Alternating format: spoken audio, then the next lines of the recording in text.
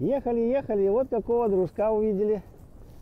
Вот какого хомячка. Знакомьтесь, это лемминг, обитатель тундры, имеющий для животного мира Арктики огромное значение. Начнем с того, что им питаются буквально все, от полярных сов и песцов до северных оленей. Да-да, в их рацион, если что, входит не только мох. С чего начинается Арктика? Для неугомонного путешественника-экстремала с Алтая Александра Провоторова знакомство с Северным Ледовитым океаном началось с другого знакомства с питерским искателем приключений Андреем Святошовым. Именно он выступил идейным вдохновителем этой, не имеющей аналогов в мире, моторизированной экспедиции. Тундра это э, мы еще в прошлом году убедились, что это это очень э, очень непредсказуемый и опасный профиль ни, ни, ничуть не уступающий горам. А с учетом того, что приходится идти по туманам, а, это ты постоянно в молоке, это белая мгла, ты слепой часто идешь, вот вообще ну, не можешь видеть и, и, не можешь, ты только можешь чувствовать э, каньон, который тебя поджидает. А каньоны иногда и там до 50 метров бывают отвесные. Просто люди улетают и уже оттуда в 2016 году они втроем прошли отрезок от Архангельска до Урала. Попытку преодолеть этот маршрут питерцы к тому моменту уже предпринимали трижды и трижды были вынуждены отступать. После удачного прохождения в головах путешественников и зародилась идея совершить кругосветку, на которую до сих пор не отваживался никто. Должны были идти вчетвером, однако в процессе подготовки остались вдвоем. Старт решили не отменять. В итоге за три недели преодолели три с половиной тысячи километров. Это было ну, немножко сумасшествие идти, идти вдвоем в такой сложный маршрут по ненаселенке. Ну, как-то рискнули. Ну и вот, как видите, вернулись. Арктика – суровая территория. В таких условиях техника долго не выдерживает. Впрочем, техника не подвела, подвели люди. Нет, не жители Севера, люди с большой земли. Бензин для своих снегоходов путешественники заказали заблаговременно. Однако, когда прибыли к месту старта, выяснилось, что доставленное топливо совершенно никуда не годится. Завезли тысячу бочек какого-то паленого бензина. Э, ледокол «Седов» обычно обслуживает всех полярников, метеорологов и завозит им по заявкам бензин. Мы оплатили этот бензин, и нам завезли на станцию э, Диксон, на метеостанцию, и на метеостанцию Челюскин. И бензин оказался непригодным. В итоге пришлось покупать топливо по двойной цене. Его качество, в принципе, тоже оставляло желать лучшего, однако снегоходы доехали. Что касается компенсации, найти справедливость и на юге-то нелегко, чего уж там про севера говорить. Везите образцы, мы вам заменим. Ну, наверное, что-то произошло. Ну, представляете, за 10 тысяч километров привезти бочку бензина, доказать, что она плохая, что она именно, э, э вот, э, именно отсюда, доказать, что она плохая и получить ее взамен. Ну, конечно, никто этого не будет делать. Ну, извинились, извинились, э, там, это не капитан ледокола, это не от него зависит, а от снабженцев, которые этим занимаются. Это делается по, по тендерам, там, по-моему, там проводятся государственные там, торги, кто выигрывает торги, тот подсовывает вот этот бензин. А в Диксоне, кстати, двух отчаянных экстремалов и вовсе едва не отправили за решетку. История банальная. Э, в Диксоне э, есть дорога автомобильная через э, проливчик метров, наверное, 200-300 шириной. Вот вот. Так вот, нас арестовали на Диксоне за то, что мы пересек... двигались э, по э, льду на снегоходах, нарушая тем самым э, водные э, пути. То есть, как только мы сошли с берега, мы нарушили погранзону. И за это нас, сказать, вот э, ночью э, скрутили э, голыми и почти, сказать, вот голыми отвезли в КПЗ. Но это скорее исключение, чем правило. Там же в Диксоне путешественникам просто так, под честное слово, дали две бочки бензина. Впрочем, Диксон – это поселок. Что касается встреч в тундре, они проходят совсем по-другому. Встречи на, на севере вообще, встреча с людьми – это всегда праздник для всех. И для путешественника – и для человека, который, э, к которому ты приходишь в гости. Людей там мало, они очень редко приходят в гости друг к другу, поэтому люди э, рады. Наверное, на заре человечества люди так друг друга встречали, как, как сегодня на севере. Ведь в городе мы так друг к другу не относимся радостно. В прошлом году мы встречали двух медведей. Вот, в этом году так нам не хотелось встречаться с ним, и мы его не встретили.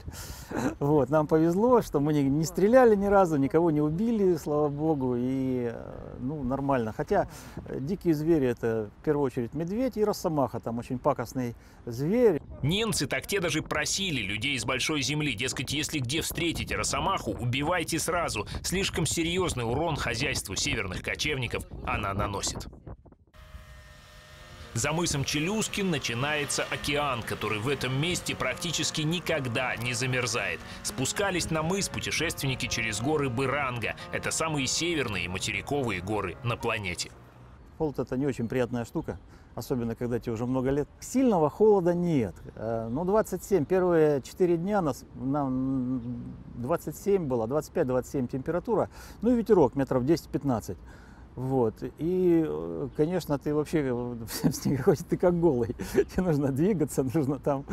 Это, ни, ни одно при таком э, сочетании температуры и ветра ни, ни одна одежда не спасет. А ты едешь 12 часов, там, как, как сосулька на самом деле. В отличие от восхождений, где прожорливость членов экспедиции напрямую зависит от высоты над уровнем моря, в тундре все иначе. Аппетит присутствует. Очень хорошо. Аппетит, аппетит, аппетит хороший. Меню путешественников в северных широтах особым разнообразием не отличается, да и некогда на маршруте особо трапезничать.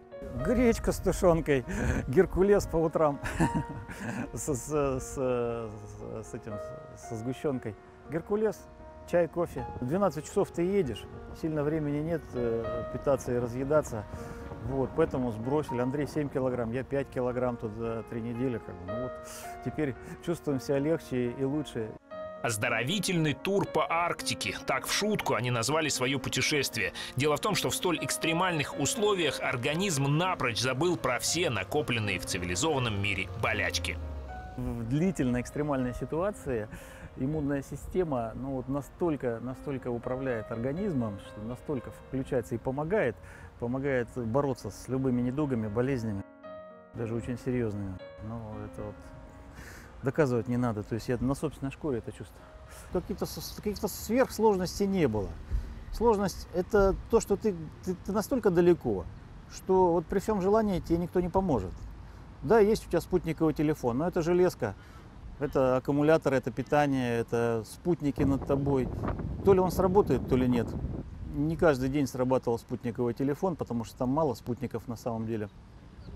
Вот. Э, Это техника, это тоже железка, которая работает на бензине. Вот. То ли она сегодня заведется и повезет тебя, то ли нет.